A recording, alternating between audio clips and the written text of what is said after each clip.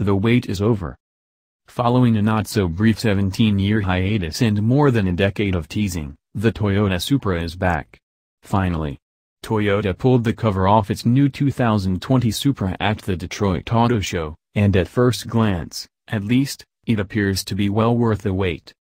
We know what you're thinking, the 2020 Supra doesn't look anything like the iconic MK4. The stunning Calty-designed FT1 concept from 2016 is its main source of inspiration, as Toyota notes. And the concept styling translates exceptionally well to the production model. The Supra's headlights, carbon fiber splitter, and double bubble roof carry over almost unchanged from the FT1.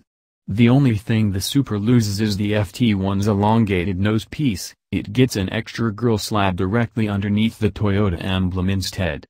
Same goes for the rear, the slim taillights, ducktail spoiler, and low-mounted LED brake light element are all ripped from the FT1, but look beautiful here. The cabin is a bit different.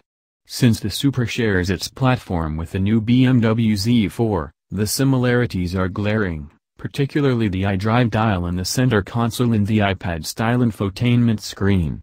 There is a nice digital instrument cluster, though, which probably displays things like G-forces, lap times, and more.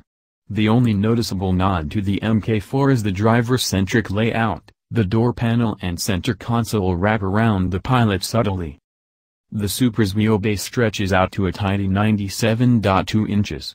That puts it relatively in the same class as cars like the Porsche 911, 96.6 inches, and Jaguar F-Type, 103.2 inches but its 172.5-inch length makes it a little more compact overall, that means shorter front and rear overhangs, an extremely low center of gravity, and a perfect 50 hours 50 minutes weight distribution. Toyota, together with Gazoo Racing, developed the Supra's chassis components from the ground up.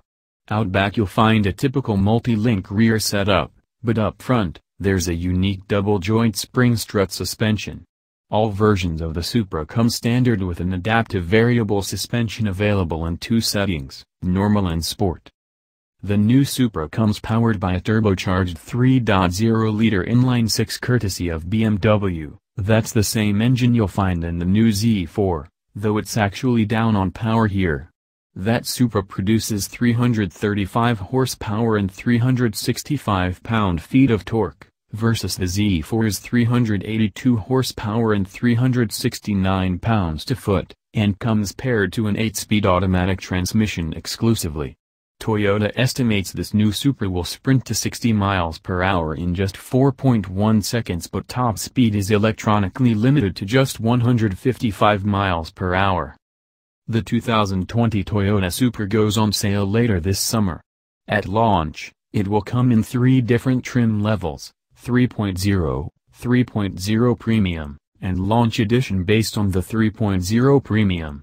The Launch Edition model comes in three different colors, Absolute Zero White, Nocturnal Black, and Renaissance Red 2.0, with unique red interior accents. But it's limited to just 1,500 examples worldwide. The base Supra 3.0 starts at $49,990 before options and delivery fees.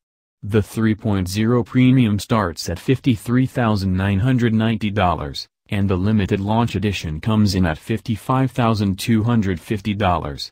There aren't a ton of options, but the Supra does offer a $1,195 driver assist package and a $2,460 navigation and JBL audio option.